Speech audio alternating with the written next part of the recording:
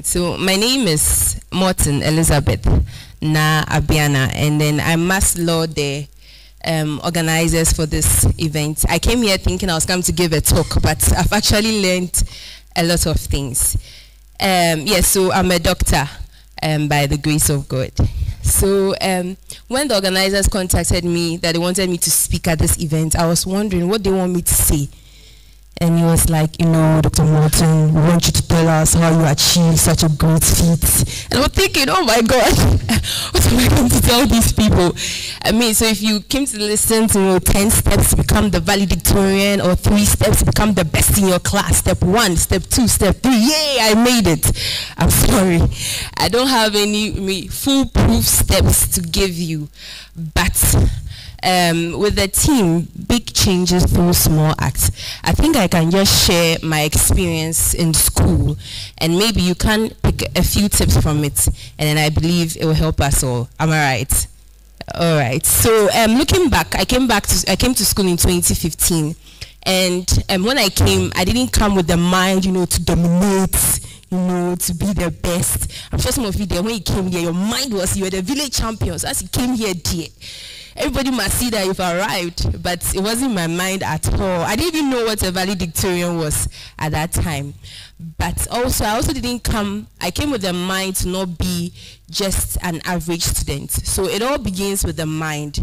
No matter how equipped and adept uh, the body is, it is useless if the mind is not stable. That's why mental health conditions are such a, you know, a serious problem because no matter how well learned the person is, no matter how well trained the person is, if the mind is not stable, if the mind is not capable, the person cannot do much. So it begins with the mind. I have people in my class who say, oh, media 50 plus one. I just came for 50 plus one. I just want to pass. You know, no all these stress, all these saying 50 plus one. But mind you, some of those who say that to go back to their rooms and then like they'll really be on it studying.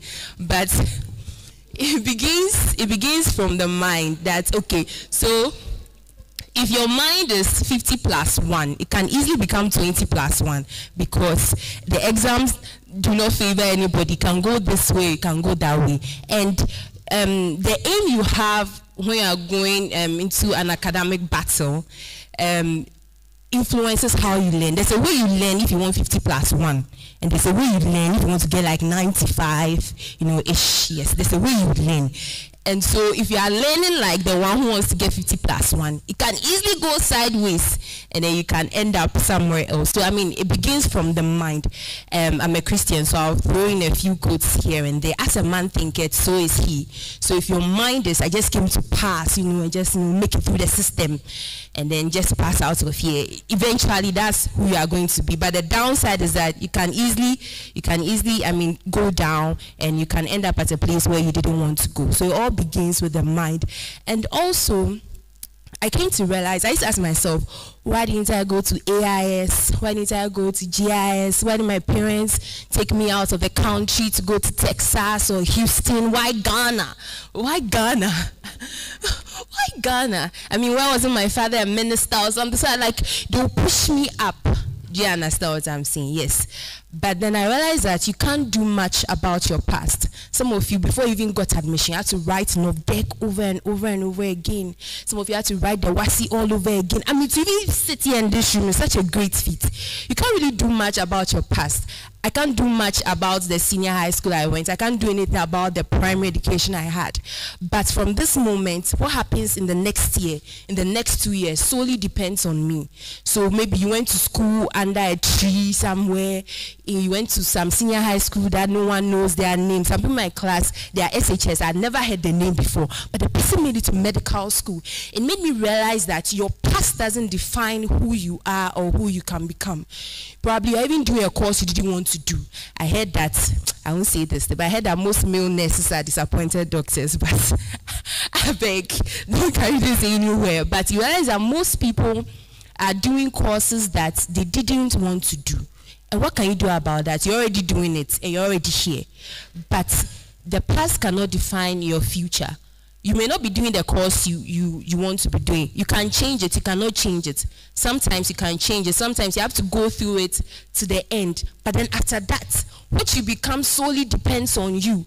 So this is also still about the mind, that don't let your past define who you become in the future you may not have started well, but what is going to happen the next year, in the next two years, solely depend on you. So start from your mind psych your mind that this is where I want to go. And then you start finding, okay, so how do I make it there? Now, in relation to your background, some of you, um, for example, like me, back in senior high, I used to study alone. I was a lone ranger. Um, no group studies, no nothing, no nothing. So I came with that same mind to, see, to I mean, to tertiary that I've been studying alone and I'm going to do it alone. And I realized that it's easier said than done. In, in tertiary, it's, it's very difficult to go through it alone without studying with anybody, without having a group study and all that so please i'm not sharing tips on becoming valedictorian. I'm just i'm just sharing my experience my academic experience as a student. And i'm just hoping that it will help us. So i realized that studying i mean going for group studies hearing others interacting asking questions discussing questions made a big difference in, in my academics. And that was one of the, the small things that made a great change. I mean, that made a big difference in my academic status because I came with the mind that I've done it before by myself, so I can study alone by myself. And then um, in school, I was involved in a lot of extracurricular activities, so my time wasn't very, um, my time was very limited. But I still had to find a way to factor in group studies in my in my schedule. So um, I had a group um, I had a group study, but Sometimes I go, sometimes I don't go. But then I had a dedicated study partner who would go for the group studies and she would come and watch me. Do you understand? So there's a way to go about, there's wisdom to go about um, whatever it is that you're doing. And also in school, I had to do a lot of things. I had to sew. I was doing, I mean, I was alternating clothes to be able to get a little coins for my in and out and all those things. So um, I had a lot of things. I was also involved in church, spent a lot of long hours in church. But I see, to my brethren, involved in church work. You can't say that I went to study, I, I, went to do the work of God, I went to preach and all those things. Automatically, when I sit behind the paper by the grace and by the anointing, I will pass. Like it doesn't work. It doesn't work like that. It, it doesn't. It doesn't work like that. The Holy Spirit will not descend and come and write your paper for you. But it is said that the hand of the diligent shall bear rule. So when you come back, no matter the time you came back for whatever it is, some of you are involved in business, you sell so sobolo, you sell this, you sell this, you sell this. It doesn't make you less of a student, but just that when you come back, you'll be more tired than the rest of the people. You come back, you have less time than the rest of your colleagues, but then it's it's it's beholds on you to sit down and to make much of the little time that you have. So sometimes people see you coming back late at night and they'll be calling you shark, shark, shark. And even that thing, don't let it bother you. As the person's calling you shark, you don't know what the person is studying behind the behind the scenes. Sometimes they'll come and they'll come and say, "Oh, you people are the you people are the good students. Oh, you people are those who want to pass."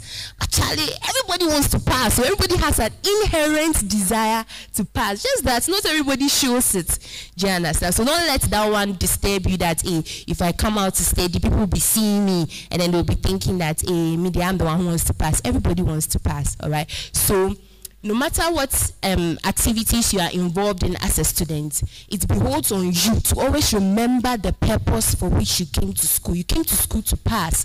So yes, I will encourage you be involved in all the things that you can because in school you're also you're also supposed to learn social things. You have to make friends, network, being I mean be a good Christian or a good Muslim or a good traditionalist, whatever works for you. So I mean, but you shouldn't come and then base your performance on that. Study to show yourself approved. No matter what you do, some of you cook and sell all those things are good. But when you come back, no matter how tired you are, sit down. Some of you do makeup and all those things. That's something I've been trying to learn, but it's not working for me. but but no matter what you do, when you come back, sit down and study. And then I also realized that um, as the earlier speakers were talking about technology, I realized that there's a lot of things you can do with technology. Um, in school, I, I I mean, I developed the joy of studying with short um, academic videos. They really help. They break down facts and give you understanding of these things. So something that your lecturer will spend hours to explain in class, a short video will give you diagrams and break it down. So I mean, when we were talking about the technological age, I really